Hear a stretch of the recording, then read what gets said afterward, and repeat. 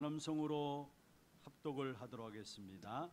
이에 그들이 그들의 고통 때문에 여호와께 부르짖음에 그가 그들의 고통에서 그들을 но возвали к 구원하시되 Господу в 그가 скорби 그의 своей, и 말씀을 Он 보내어 спас их от 그들을 бедствий их, 고치시고 послал 위험한 Слово Свое 지경에서 и исцелил их, 건지시는도다. и избавил их 아멘. от могил 축복을 их.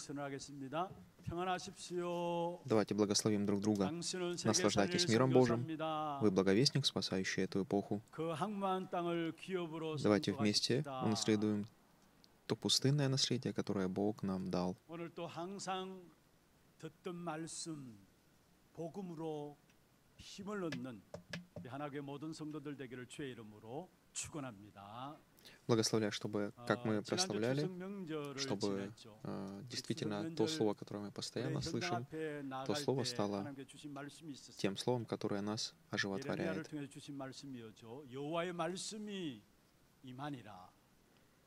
И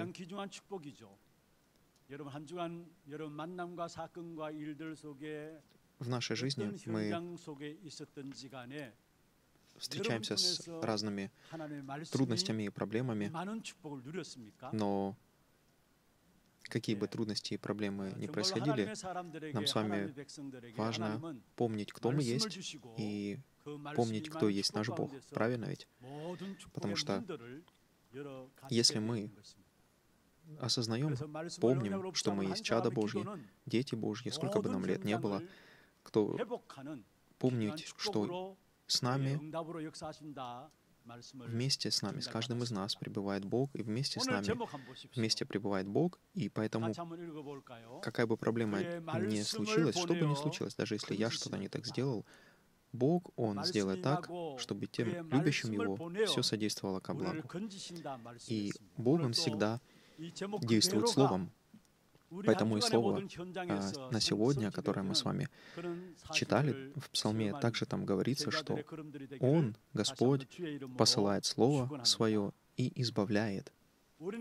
Поэтому я благословляю, чтобы мы на этой неделе и не только, но и во все, на всей жизни нашей смогли наслаждаться этим благословением, наслаждаться благословением, что мы можем слышать, что мы можем принимать Слово Божье. И что Бог Словом Своим, Он действует, и Он избавляет нас. Если мы проанализируем свою жизнь, то мы увидим, что нами движет то, что находится внутри нас. То есть в, завис- в зависимости от того, что внутри меня есть, какие слова, чьи слова внутри меня, то это и становится для меня стандартом приши- принятия решений, критериями в суждении. Также это становится тем, что направляет мою жизнь. И поэтому, если действительно наша жизнь не организована, не упорядочена в соответствии со Словом Божьим, по Слову Божьему, то, несмотря на то, что мы верующие люди, несмотря на то, что мы даже дети Божьи уже, и мы в конечном итоге будем жить так, как жили до того, как приняли Иисуса Христа как своего Господа, Спасителя, даже хотели, чтобы Господь действительно был нашим Господом. Но если не будет упорядочено Слово в нашей жизни, организована жизнь по Слову Божьему, тогда мы будем увлекаться тем, что делает мир, что делают другие люди, и таким образом мы видим э, в, э, в Библии примеры также людей, жизнь которых была устроена по Слову Божьему. Что это означает? Это означает люди, которые получали водительство Святого Духа, и тогда в их сердце был мир, Несмотря, не на то, несмотря на то, в каких бы обстоятельствах они ни оказывались, подобно тому, как и Иосиф, один из примеров может быть, поэтому Иосиф, он не отчаивался, он не впадал в депрессию, он не стал искать каких-то возможностей сбежать, изменить что-то. А, не означает, надо жить, плывя по течению. Но тут важно понять, как говорится в жизни, а, если это действительно течение Слова Божьего, тогда как раз-таки нам нужно а, идти, находясь в течении этого Слова Божьего. И Поэтому, несмотря, ни на, несмотря ни на такие обстоятельства, мы видим, Иосиф, он даже оказался в тюрьме, но он знал точно, кто он есть, и э, у него было понимание, что есть Божьим желанием в отношении него, в отношении израильского народа уже тогда. Поэтому он знал, что Бог желает, чтобы сохранить завет и передать это. И поэтому что необходимо нам? Посмотрите, как верующие также ранее церкви. Они были люди, и мы такие же люди, как мы. Мы такие же люди, как они. Тот же Дух Святой, который был внутри них, Точно тот же Дух пребывает вместе со мной внутри меня, внутри каждого из нас. А Но почему тогда мы так злимся, почему обижаемся, почему разочаровываемся, беспокоимся, жалуемся из-за даже каких-то небольших проблем. Мы чем-то отличаемся от них, или же, давайте скажем, они, может быть, чем-то отличаются от нас, какие-то более особенные, или же на тот момент слово было какое-то другое для них.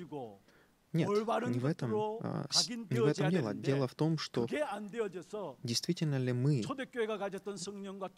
сосредотачиваем себя сосредотачиваемся на Слове Божьем. Действительно ли мы уделяем время чтению, размышлению над Словом Божьим, общению по Слову Божьему и также молитве по Слову Божьему. Потому что если мы смотрим Первоапостольскую церковь, там сказано, каждый день они пребывали в общении учи, учении апостолов, общении, молитве и хлебопреломлении. Поэтому и результат в, в итоге того, каким образом слаживалась жизнь, отличался. И ответы, которые они получали, также отличались. Давайте вместе прочитаем еще раз. 19 стих там сказано. Но, возва... но возвали Господу скорби своей, и Он спас их от бедствий их. И 20 послал Слово Свое, и исцелил их, и избавил их от могил их. Что есть ответ, который Бог нам дает? Может быть, это а, если у нас нет денег, мы молимся, Бог, дай нам деньги, Бог дает деньги, это ответ. Или же, есть какая-то болезнь, мы молимся, Бог исцели нас, Бог исцеляет, и это ответ. Это тоже можно назвать ответом, конечно же, если э, нет денег и Бог дал деньги, или же другое в чем-то, но это ли действительно настоящий ответ? Это ли те, тот ответ, который Бог желает действительно дать? Это ли является только, от, только ответом, который Бог или у Бога есть, Бог приготовил для нас, или у Бога есть что-то большее для нас? Может быть, вот эти ответы, которые мы говорим, деньги или же здоровье, это то, что вообще-то естественным является, то, что не ответом должно быть для нас, а то, что естественным образом жизни должно быть. Не так ли должно быть это в нашей жизни? Разве об этом молились первоапостольская церковь? люди, верующие Первоапостольской Церкви, и не только. Нам важно понимать, кто мы есть, важно понимать, какие ответы действительно ответы Бог приготовил для нас. Для нас самым важным и действительно истинным ответом это есть совершение Слова Божьего. И когда наша жизнь находится в течение Слова Божьего, если наша жизнь не организована согласно Слову Божьему, тогда невозможно, чтобы мы шли в Слове Божьем, и, соответственно, происходило совершение Слова Божьего в нашей жизни. Поэтому первое, что мы, о чем мы говорим, это о том, что наша жизнь, моя жизнь должна быть в течение Слова Божьего.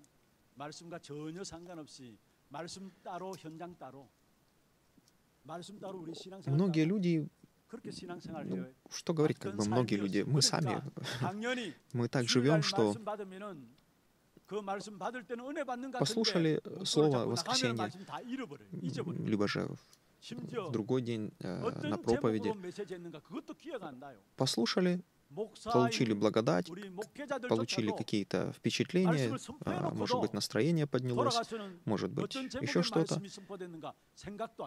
И уже на следующий день мы даже, может, не вспомним даже не может, а так и есть. Не вспомним даже и название проповеди, и вообще, какое послание Бог дал нам через это.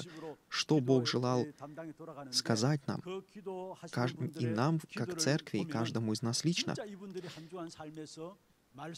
Мы можем запомнить, например, какие-то интересные примеры, которые пастор говорил, истории какие-то забавные или трогательные истории о чем-то. Но нам важно не просто вот истории или же примеры, они лишь помогают, чтобы подсветить вот это вот то, что Бог желает передать, но поэтому нам нужно не просто душевно себя настраивать, нам нужно настраивать себя на том, чтобы услышать голос Божий через это все. Чтобы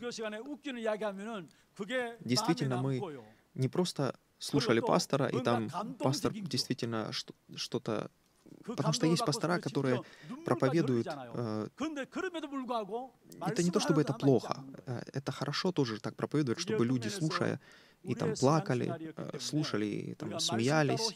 Э, это тоже хорошо, потому что, конечно же, у нас есть дух, душа и тело, но если верующие просто вот это только остается в них, посмеялись, поплакали,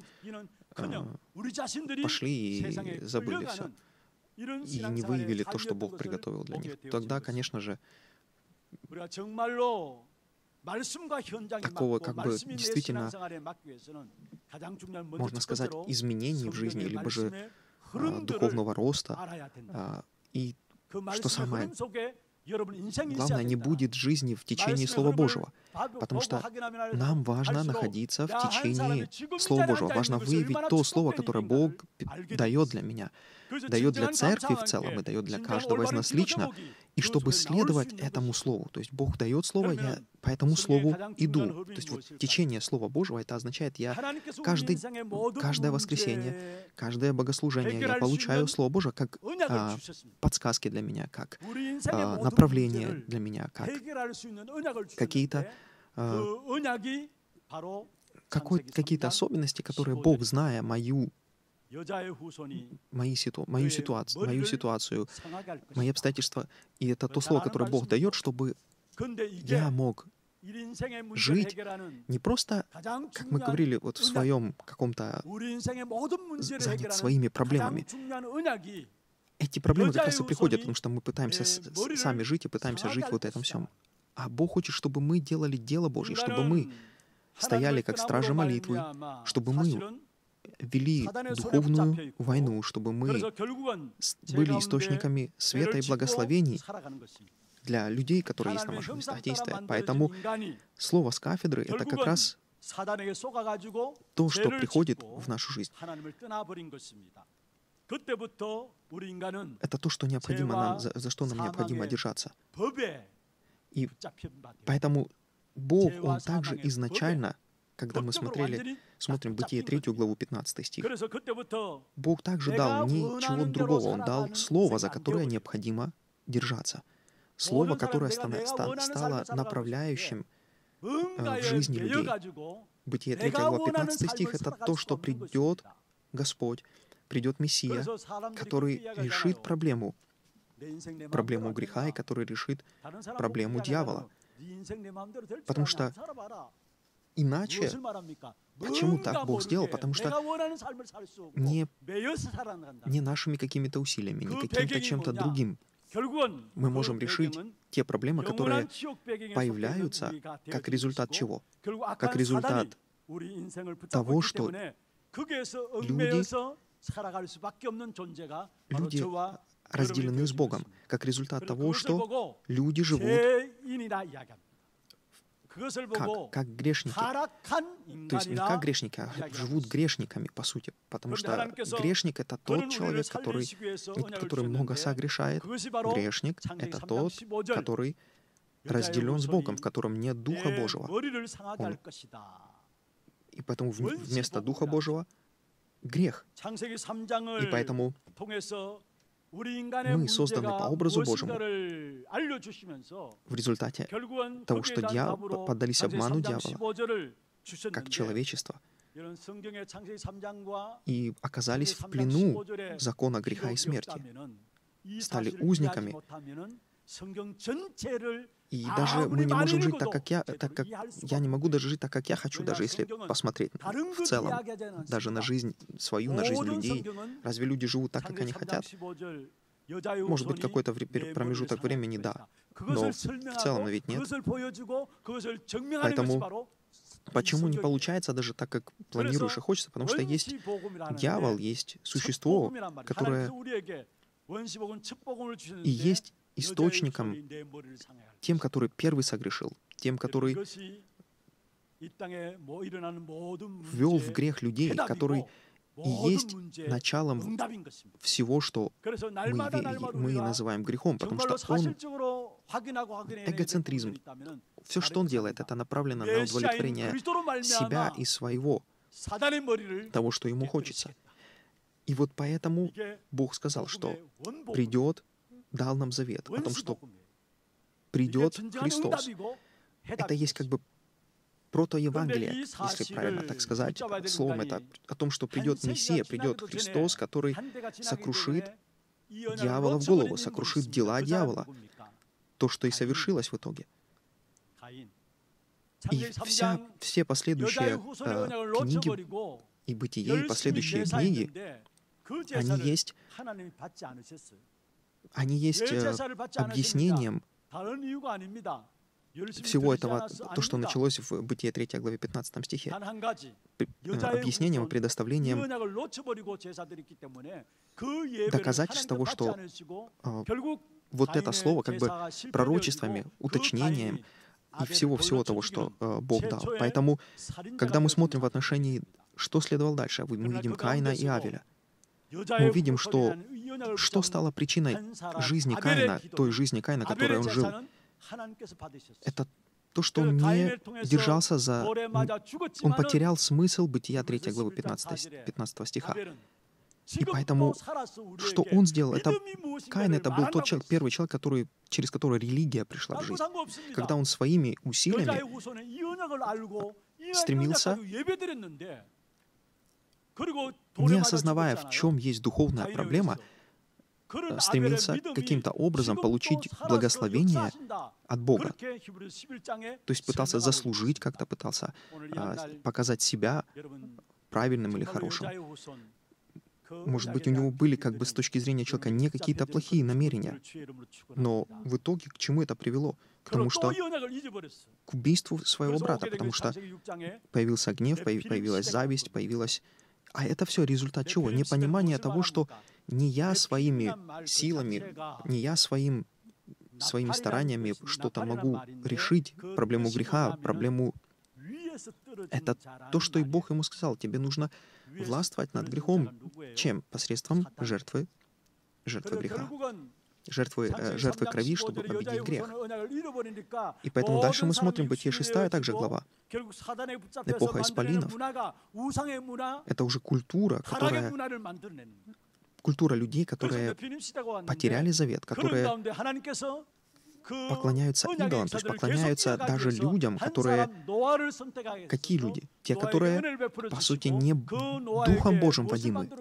Нефилимы — это не просто великаны какие-то, это не просто какие-то э, ангелы падшие. Это люди, которые и в эту эпоху, и сейчас также существуют и живут.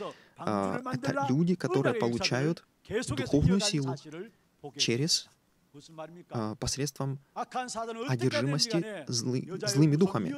И не означает, что они выглядят какими-то злыми там, с точки зрения даже людей. Но это те люди, которые могут иметь знания определенные, а какие-то способности, которыми они влияют на этот мир и признаются люд... такими, как выдающимися какими-то людьми, но по сути они уводят людей еще дальше от Бога, и, потом... и через них дьявол их использует, чтобы увести еще больше людей от Бога. Поэтому формируется... Мы живем с вами в чем? Коррумпированной культуре в той идолопоклоннической культуре. И люди, по сути, мысли людей, зло во всякое время, это означает, что люди, все, что бы ни делали, они делают с точки зрения эгоцентризма. И точно так же мы смотрим то есть они смотрят, чтобы, чтобы получить, чтобы, что выгодно для меня, что хорошо для меня, потому что никто про меня не подумает. Дальше мы видим Бытие 11 глава точно так же. Вавилонская башня — это то же самое, что продолжается и сейчас, когда люди стремятся достичь успеха, которые стремятся без Бога показать, что сделать имя себе. Это в итоге культура противостояния Богу. Поэтому что мы видим в отношении дальше произошло? когда мы смотрим Бытие, После Иосифа пришел фараон, который не знал Иосифа. В итоге Люди, израильский народ, что случилось с ними? они попали в рабство. И также почему это случилось? Потому что упущение завета, упущение понимания, что есть действительно жертва крови? и что вообще это означает. И вот через Моисея Бог восстановил понимание завета, понимание того, кто есть израильский народ, какой завет заключил Бог с Авраамом, Исааком, Иаковом, что есть миссия израильского народа была, это сохранить завет и передать этот завет следующему поколению и также передать другим народам. Это то, что тот завет, который упускают даже и христиане сейчас. Потому что после того, как мы смотрим историю церкви, когда мы смотрим, когда первоапостольская церковь держалась этот завет, но потом упустила этот завет. Церковь упустила этот завет. И поэтому пришла религия. Когда мы смотрим средне... эпоху Средневековья, что случилось в это время? Это то, что Евангелие практически исчезло. Не было людей, провозглашающих благую весть. И поэтому уже более 500 лет прошло со времен реформации, религиозной реформации, которую Бог произвел через Мартина Лютера, человека, который, которому Бог открыл, который осознал, что все, все эти храмы, каф, кафедральные соборы, все, что это построено людьми, это просто здания, которые, по сути, есть пустыми. В них нет, не провозглашается Евангелие, не провозглашается Слово Божьего. Люди не знают Слова Божьего, не читают, не, не могут читать, потому что это все держалось в какой-то тайне на латинском языке, либо же на старославянском, если взять уже даже православие в нашей в русскоязычных странах, и не только. Поэтому а, что, что необходимо нам с вами? Нам нужно действительно, чтобы это Евангелие восстановилось также в моей жизни, чтобы я находился в течении слов, чтобы выявить что есть то, о чем Бог желает, чтобы я молился. Не мои какие-то то, о чем я, чего я хочу, а действительно найти, потому что Бог, что для Бога самое главное на этой земле? Это спасение людей. Что желает Бог? Чтобы все люди спаслись, достигли познания истины. О чем сказал Иисус Христос? Идите до края земли, найдите учеников.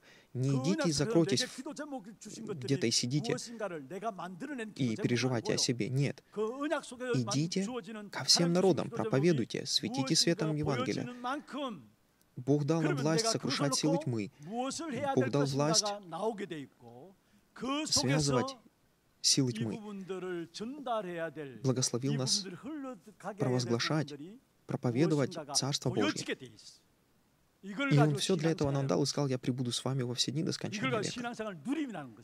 И жизнь веры — это не жизнь постоянного раскаяния, покаяния и жизнь, что постоянно думать, я ни, ни чему не годен, я слабый, я грешник, или еще что-то. Да, мы имеем греховную сущность, Бог это знает, поэтому Он, как, смотрите, притча про блудного сына, когда вернулся он, что сделал отец его? Он дал ему, покрыл его одежду, дал ему одежду, покрыл, и он уже сразу стал не просто как нищий или бомж, он стал, восстановил свой статус. Точно так же нам, как в 3, 3 главе 21 стихе, даны одежды кожаные. То есть мы покрыты праведностью Христа, поэтому это не та жизнь, которая Бог желает нам жить. Нам нужно посмотреть, опять-таки, как жили первоапостольская церковь. Посмотрите, посмотрите э, в отношении Петра, в отношении первоапостольской церкви. Что Петр сказал, когда они с Иоанном шли и увидели хромого? То есть они видели его и до этого, но когда пришло действительно к ним осознание, понимание, что есть действительно проблемой, что есть действительно то, в чем нуждается этот человек. Поэтому они и сказали, золото, серебра нет у меня, что имею, то даю. Во имя Иисуса Христа Назарея, встань и ходи. Они знали, что человек, когда мы говорим, что все проблемы человека решаются, если принять Иисуса Христа, то это не, не обман, это так и есть. Но с чего начинаются решения проблемы? Если проблема этого человека связаны с духами какими-то, злыми духами, которые связывают его, которые приносят болезни в этого жизни этого человека, тогда приняв Иисуса Христа, этот дух не сможет уже быть в этом человеке. И вот это есть жизнь, наш, жизнь веры наша, когда мы наслаждаемся свободой в Иисусе Христе, когда мы продолжаем находиться в истине. Потому что эти злые духи, они могут вернуться, они не могут уже внутрь человека этого войти, но они могут беспокоить этого человека, они могут обманывать человека. И нас точно так же. Поэтому нам нужно жить по-настоящему жизнью веры. Поэтому нам нужно Слово Божье, чтобы мы наполнялись Духом Святым, чтобы мы точно могли убеждаться каждый раз, кто мы есть, чтобы убеждаться в том, что, кто есть Бог, в чем есть желание Божье, чтобы слушать голос Божий, знать, о чем нам необходимо молиться. И поэтому сказано ведь, ищите прежде Царство Божьего, все остальное приложится вам. И это тоже... Разве это обман? Нет будет все. Нам нужно поэтому находиться в течение Слова Божьего. Нам нужно знать, о чем Бог желает, чтобы мы молились. Если мы будем находиться в течении Слова Божьего, как в Иезекииле сказано в 37 главе, когда Слово из, э, из храма, как поток воды живой вытекло, и куда оно не приходило, на все места оживотворялись воды, оживотворялись, происходило действие оживотворения.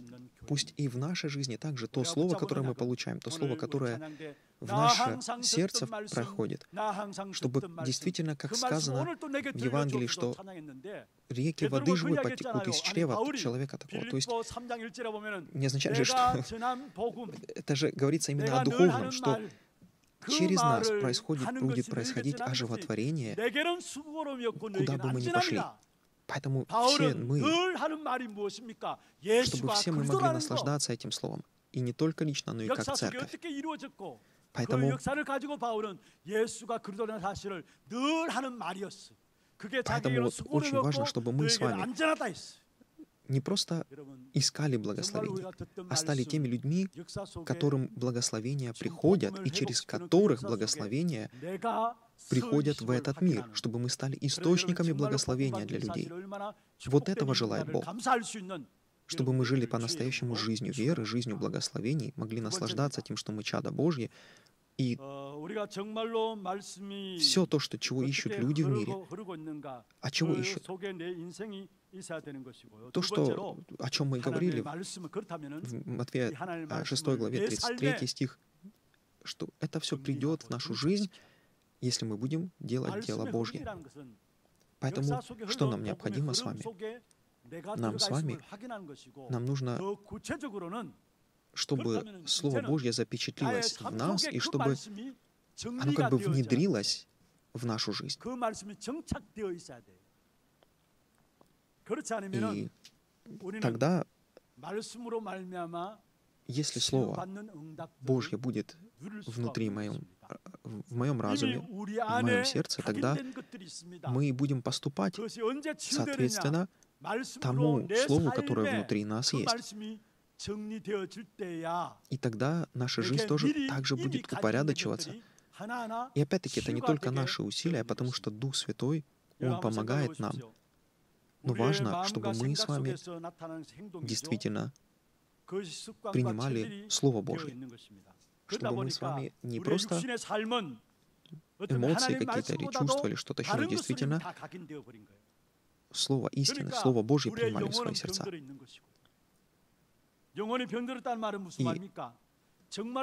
если мы действительно нам с вами прежде всего нужно получить исцеление нашего духа и нашей души. И тогда в результате будет происходить дальше действие исцеления наших наших э, мыслей, наших чувств, желаний, сердец. И это постепенно станет нашей также сущностью. И поэтому и физическая жизнь также начнет меняться, потому что наша, наша жизнь, в которой мы живем сейчас, это результат чего? Результат моих мыслей, моих слов и, соответственно, поступков и выбора, которые я делал 5-10 лет назад. Поэтому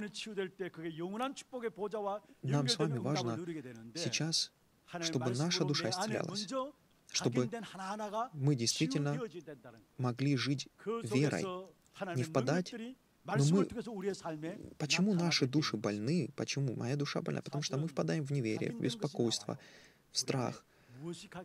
И это уже то, что запечатли, запечатлилось уже внутри нас. Это как стало нашим образом жизни. И мы не осознаем это, иногда впадаем в это все. Поэтому нам нужно начать с чего?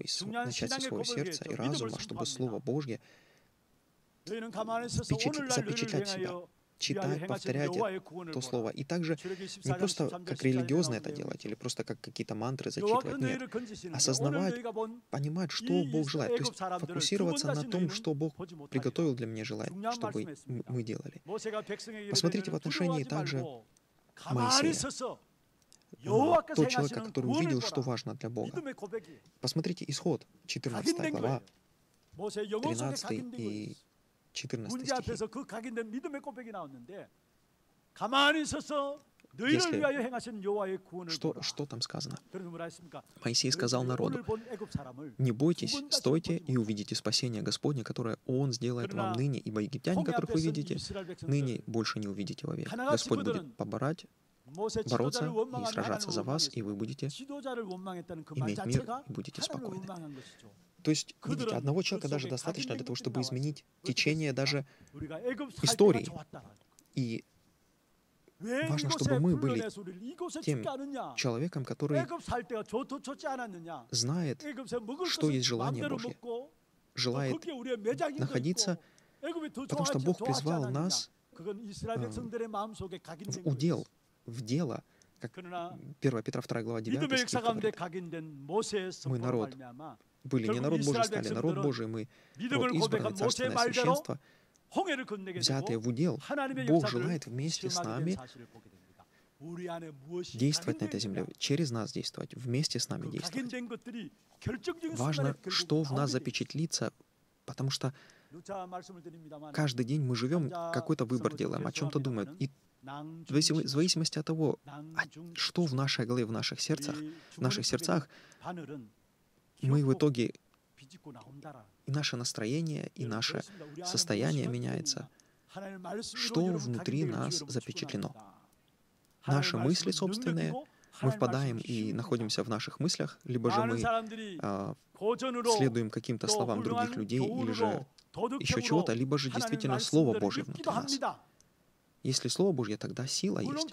Если Слово Божье, тогда надежда есть. Мир есть, радость есть.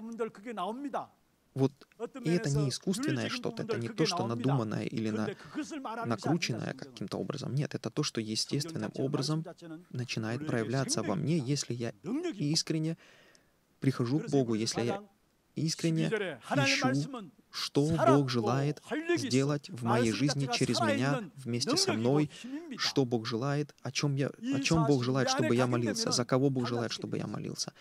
Если мы искренне будем к этому приходить и спрашивать у Бога, мы увидим свой талант, мы увидим то, чего мы не видим на местах действия на наших увидим те, способ... те возможности, увидим то, что внутри нас есть, увидим те возможности на местах действия, что я смогу сделать, чтобы люди могли услышать о Боге. Это всего касается, и даже бизнеса, и даже любой работы, во всем. Поэтому мы э, также в церкви, почему есть Хана School, почему э, не, не просто дети не все, конечно же, потому что тоже нужны и учителя, нужно не просто так собрать детей в церкви сказать, что мы открыли свою школу, но мы стараемся сделать так, чтобы те дети, которые учатся здесь, чтобы они с детства могли расти действительно людьми, которые испытывают в своей жизни Бога и наслаждаются. И вот э, они, э, дети также на прошлой неделе вот отправились э, в поехали в бассейн, там, где не только наши дети, наши школы, нашей церкви, школы, но и другие там есть. И кто-то, вот они встретились там, наверное, родители, дети, общались, и вот даже не из нашей церкви, э, не нашей церкви, а вообще даже неверующие, чел, неверующие, как бы неверующие, люди, которые, да, не ходят ни, ни в какую церковь, а, позвонили а, в офис а, школы и спросили, могут ли они отправить своего, своего ребенка в эту школу. И когда уже общались с ними, спросили, а, почему, потому что, почему вы хотели ходить отправить. И они сказали, что видя, как ведут ваши дети, дети ваши школы себя, а, какое у них состояние их мыслей, как, как вообще, какие они, они увидели, что действительно отличаются. И действительно, они более спокойные. Даже как-то, не то чтобы они там не играют, не бегают, как дети, но это тяжело даже как-то объяснить, но очень какой-то мир в их сердцах есть, в то же время радость есть, и не просто какая-то безумная какая-то радость или там вызванная какими-то эмоциями в чем-то, но они более выглядят как бы настоящими. И Потому, почему так? Потому что у них есть духовная сила, потому что у них есть духовное содержание также. И поэтому уже вот после часок они э, встретились, и мы общались с ними э, в отношении того, верят ли они в Бога, э, ходят ли, ходили они в церковь. Ну и дальше также будем смотреть, чтобы со следующего года может, можно будет, их ребенок мог прийти и, конечно же, уверовав в Иисуса Христа, учился в этой школе. И также, а, также общались с э, учителем, который как э, после школы, как, а, в академиях, это как академия, это как э, кружки определенные, общались также. Также она дала как бы, свое такое свидетельство в отношении детей, что не просто, как есть, конечно, люди, которые не ходят в церковь, которые там, добрые такие, и они отзывчивые, но есть также и внутренняя духовная сила, какая-то что-то особенное в, в детях, которые уже действительно и наслаждаются личными взаимоотношениями с Богом. Поэтому посмотрите, в чем секрет здесь? Здесь не просто какое-то что учение какое-то особенное или а, что-то другое. В чем секрет того, что дети даже неверующие люди видят какое-то отличие, какое-то какое спокойствие, какую-то в то же время силу у них. Почему? Потому что Слово Божье, что сказал Иисус? Он говорит в Евангелии от Иоанна, 6 глава, 63 стих, «Дух животворит, плоть не пользует немало». Слова, которые я говорю я вам, суть Дух и жизнь. То есть мы действительно молимся о том, чтобы не просто религиозно жили жизнью религиозной, и приходили к Богу, когда какая-то проблема такая случается, чтобы действительно жили Словом Божьим, чтобы Слово Божье жило в них, и точно так же и в нас. И тогда действительно быть человеком, который имеет духовную силу, который понимает, кто он есть, понимает этот мир, который понимает, что необходимо делать, который с детства уже, с юности знает свой, выявил свой талант, способности, знает, для чего необходимо жить. Не просто гнаться за успехом, пытаться заработать много денег или еще что-то. Для чего это все? Что есть моя миссия, что Бог желает сделать со мной, вместе со мной, через меня. Вот поэтому нам с вами важно размышлять над Словом Божьим. Слово Божье приносит исцеление нам. Посмотрите, Псалом 1 глава. Что сказал, что сказал Давид в этом псалме? И не только Давид, но особенно в этом псалме. Что сказано? Блажен человек. Блажен, то есть что означает блажен? То есть это тот, который действительно счастливый и благословенный, который не, который не ходит на совет нечестивых, не стоит на пути грешных, не сидит в собрании развратителей, но, второй стих, в законе Господа воля Его, и о законе Его размышляет Он день и ночь. Давид не только в этом псалме, и в других псалмах он писал, что раз... «Я радуется сердце мое, и нахожу удовольствие в том, чтобы размышлять над Словом Твоим, над законом. Как мы, конечно, говорим закон Господень, это не означает только закон. Это, конечно же, для нас это Слово Божье. И тогда что сказано? Будет он как дерево, посаженное при потоках вод, которое принесет плод свой. То есть мы тогда сможем, размышляя над Словом Божьим, наш, наш мозг получает исцеление, наша душа получает исцеление.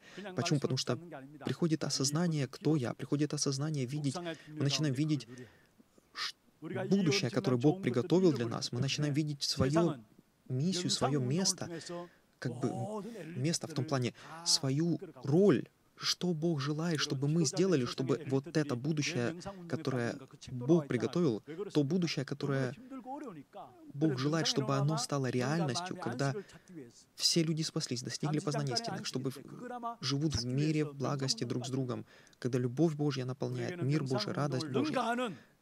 Но самое главное, спасение совершается. Вот, вот это будущее. И что я могу сделать? Где... Вот это есть понимание вот этого приносит мир в мое сердце, радость в мое сердце, что я участвую в деле Божьем, что я вижу, что я могу сделать и как это сделать, и я знаю, что я сделаю, потому что Бог дает силы, дает мудрость, и мы выявим наши дары, наши, внутри нас, наши таланты, наши способности.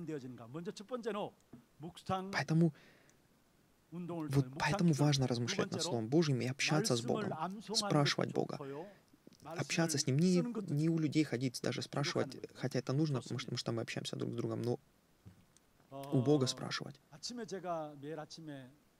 И Давид это всегда делал. Мы смотрим, если псалмы 5, псалом 17, псалом 118, там много псалмов, где э, Давид и утром, и вечером, и э, перед рассветом размышлял над Словом Божьим. Я, конечно же, радуюсь, когда есть люди, которые... Я вижу людей, которые размышляют над Словом Божьим, которые... И смотря на утреннюю молитву, когда э, приходят э, верующие также, и вижу, они размышляют над Словом, записывают Слово Божье, я вижу также изменения в их жизни. Их жизнь становится более упорядоченной, даже люди, которые, конечно же, и не верят в Бога, все равно утром они имеют время какого-то такого, вот, как они говорят, медитации. Тоже их жизнь отличается от тех людей, которые не делают. Но мы с вами не просто медитация какая-то. Мы с вами размышляем над Словом Божьим. Поэтому смотрите, Псалом 5 глава, Псалом 5, 3-4 стихи. Утром также Псалом 17, 3 стих. Давид говорит о том, что ночью также а, 자기와의 관계를 설명한 부분들인데 이 말씀이 자기 어떤 관계가 있는가를 말하고 있는데 И также э, 100, не 119 같이 한번 읽어보십시다. 내가 날이 밝기 전에 부르짖으며 주의 말씀을 바라사오며 это Псалом 16, даже не 17, 16 Псалом.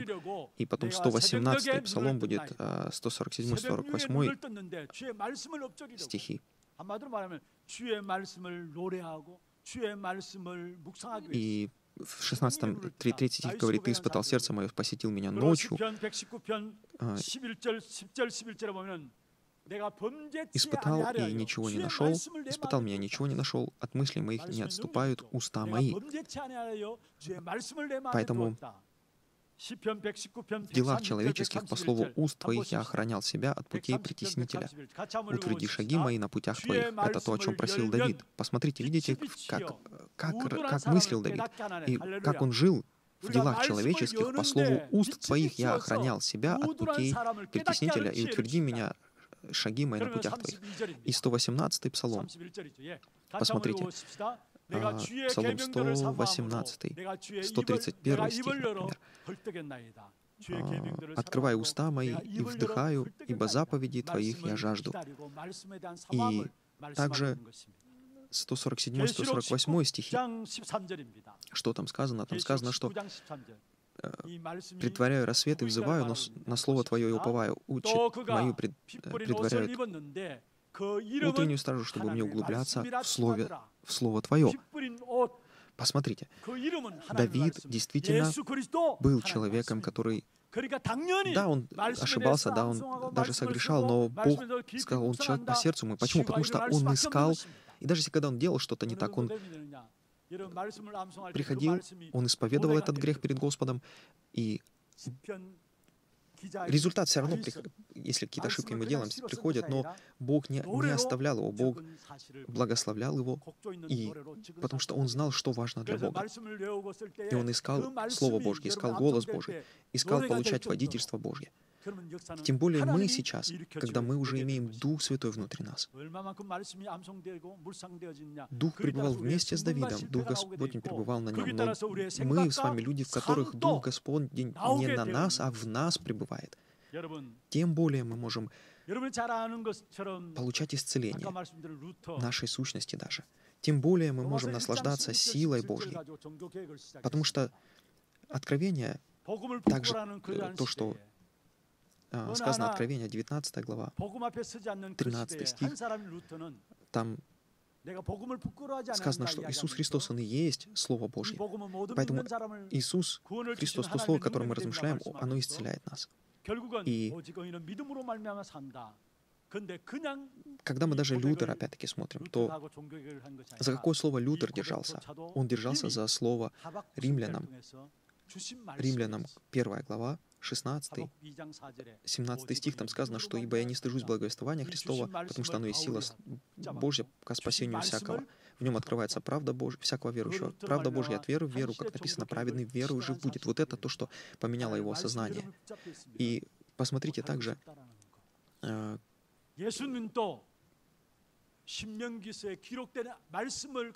пророка Авакум, 2 глава, 4 стих, там что сказано? Вот душа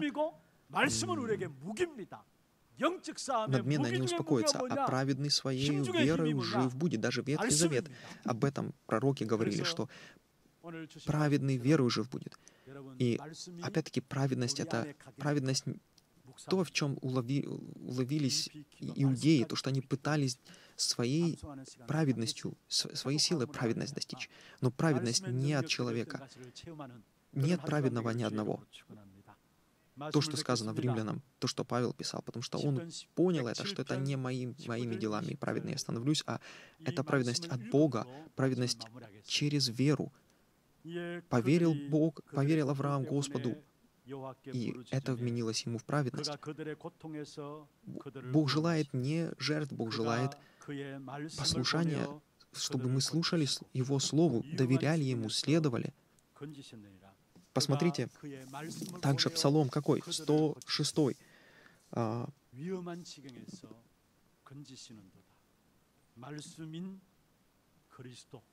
Псалом 106, давайте откроем. 20 стих. «Послал Слово Свое, и исцелил их, и избавил их от а, могил их». Вот что Бог желает, чтобы мы с вами держались Слова Божьего, и чтобы что мы делали? Также Псалом 118, 19, 20 стих, Псалом 118, там что сказано? «Странник я на земле, не скрывает меня. заповеди Твоих, истомилась душа моя». А, Бог желает, чтобы мы искали Слово Божьего, чтобы принимали Слово Божье в наши сердца, чтобы действительно мы с вами могли жить жизнью, наслаждаясь Словом Божьим, находиться в течении Слова Божьего, чтобы делали на этой земле, занимались тем, чтобы вели духовное сражение, чтобы наша брань не против плоти и крови, чтобы наслаждались, чтобы мы могли действительно, как сказано, всегда радуйтесь, непрестанно молитесь за все благодаря